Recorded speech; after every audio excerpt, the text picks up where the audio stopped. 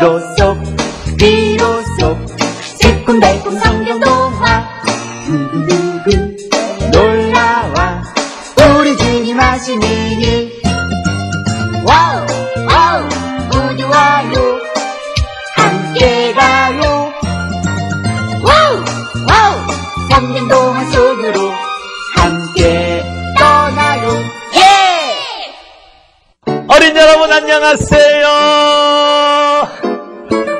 오늘도 만나서 반가워요.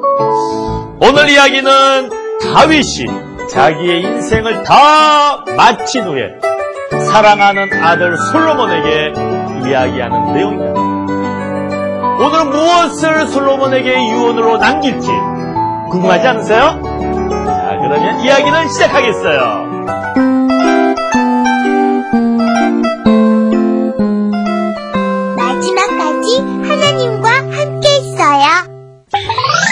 다윗은 나이 70이 되어 죽을 날을 얼마 남겨두지 않게 되었어요. 다윗은 솔로몬을 불렀답니다. 솔로몬 어서 오너라. 솔로몬. 아버지, 솔로몬. 난 이제 하나님의 품으로 가려고 한다. 너는 이제부터 하나님 말씀에 순종하며 율법을 잘 지켜 행하거라. 하나님께서 너를 지켜주실 거야. 네가 무슨 일이 있다 할지라도 하나님 말씀대로만 순종하며 살아갈 때 하나님이 너와 함께 하신다. 아버지! 솔로몬, 하나님은, 하나님은 우리를 지키셨어야. 알았습니다, 아버지. 그리고 네가 꼭 네가 꼭 들어야 할 말이 있다. 요압. 요압 장군이면? 그래, 요압! 바로 요압에 대해서 네가 꼭 알아야 될 일이 있어. 아브넬과 아마사, 알고 있지? 아브넬 장군과 아마사 장군의 이야기입니까? 그렇지. 자세히는 모르고 있습니다. 내 얘기 잘 들어. 바로 아브넬은 바로 사울 왕의 아들 이스보셋의 장군이었어. 그가 이제 이스보셋에 떠나 나에게 왔단다. 그리고 그는 이미 내 부하가 되려고 말을 했었지. 그때 요압 장군이 아브넬이 간 후에 나를 찾아왔어. 그래서 왜 아브넬이 왔냐고 물어보길래 내가 분명히 얘기했단다. 요압 장군, 아브넬은 이미 우리 편이니 그에게 손을 내지 말라. 이렇게 내가 이야기를 했지. 아니 그런데 그런 요압 장군이 어떻게 했습니까? 요압이 적군이라 그러더군. 내가 그랬지 적군이 아니야. 그는 바로 우리 편이라고 분명히 얘기했어.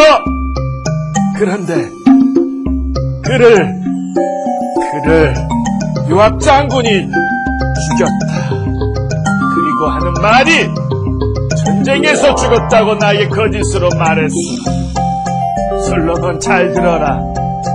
요압이 물론 이 나라를 세우는 큰 공을 세웠지만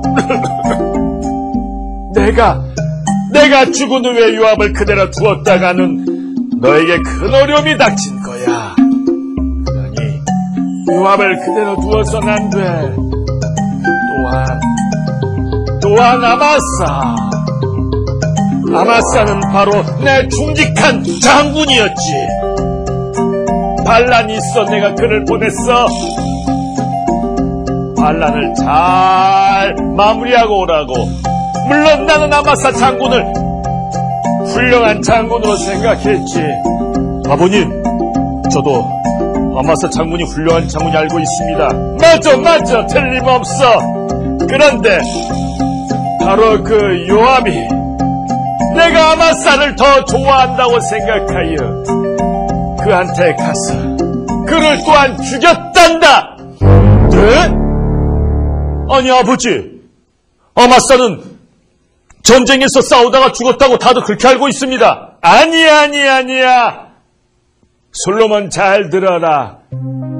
그것은 바로 요압이 꾸며낸 일이야. 그러니 이 일을 잘 네가 듣고 있다가 요압 장군에게 확실하게 벌을 내려야 해. 알았느냐? 예, 알았습니다. 솔로몬, 솔로몬, 왕으로 이스라엘 나라를 다스린다는 것은 정말 어려운 일이야.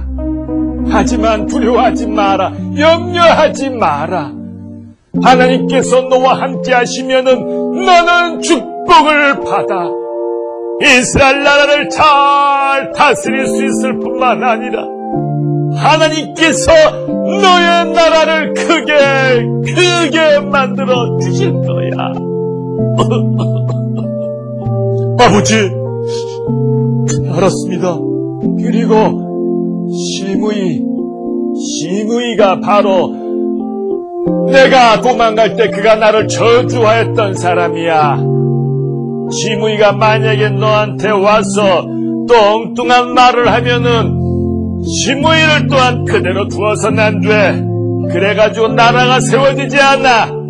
나한테는 그렇게도 괜찮지만 너한테는 그렇게 하면 안 된다. 아버지, 알았습니다.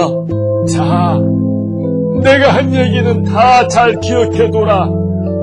예비가, 예비가 하나님 나라에 가더라도 내가, 내가 감사하게 할 수 있도록 너에게 다 말을 했으니 솔로몬 내 말을 기억해 하구나.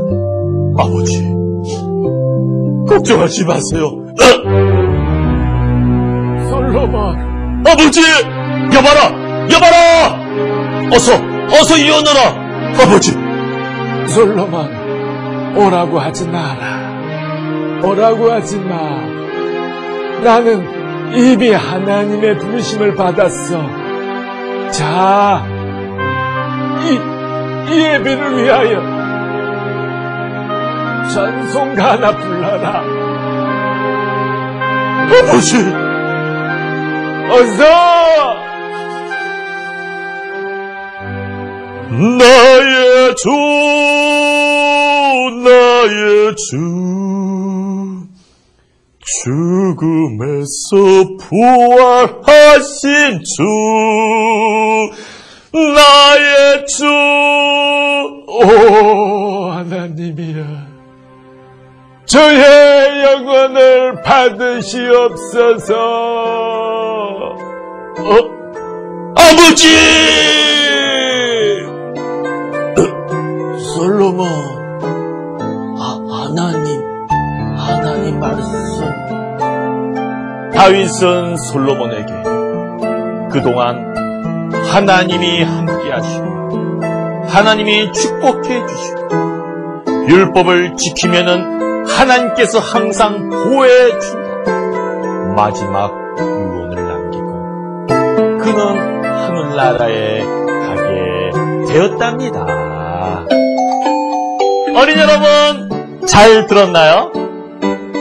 다윗은 한평생 하나님과 함께 하시고 마침내 하나님의 품에 안기게 되었다.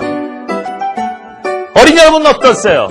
다윗처럼 하나님 말씀에 순종하여 다윗이 하나님 품에 안겼던 것처럼 여러분도 안길 수 있나요?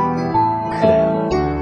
이제부터라도 다윗처럼 하나님 말씀에 순종하며 살아갈 때 다윗에게 함께했던 바로 그 하나님께서 여러분에게도 함께 해 줄 줄로 믿습니다. 그러면 다음 주 시간에 우리 또 다시 만나요. 어린 여러분 안녕!